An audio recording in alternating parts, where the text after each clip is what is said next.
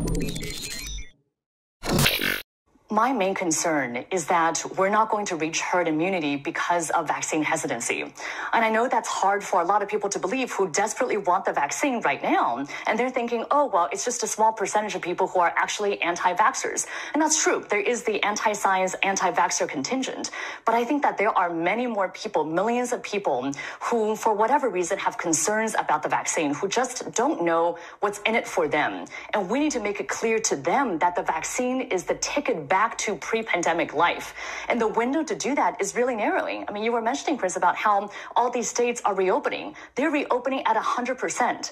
And we have a very narrow window to tie reopening policy to vaccination status. Because otherwise, if everything is reopened, then what's the carrot going to be? How are we going to incentivize people to actually get the vaccine? So that's why I think the CDC and the Biden administration needs to come out a lot bolder and say, if you're vaccinated, you can do all these things. Here are all these these freedoms that you have. Because otherwise, people are going to go out and enjoy these freedoms anyway. And I fear a situation of coming into the fall where we never reach herd immunity.